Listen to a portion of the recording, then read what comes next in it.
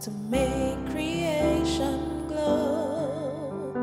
He could have made it black or white, and we would never know.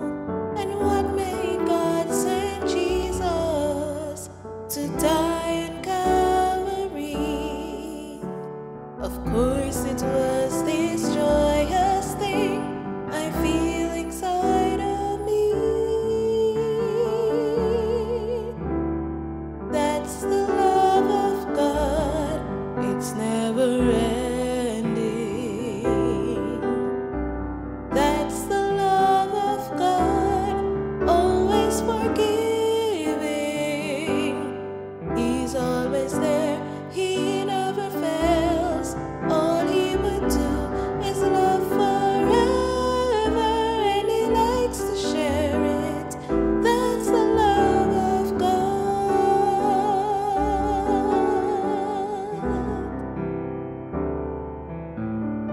He can change a family, it's already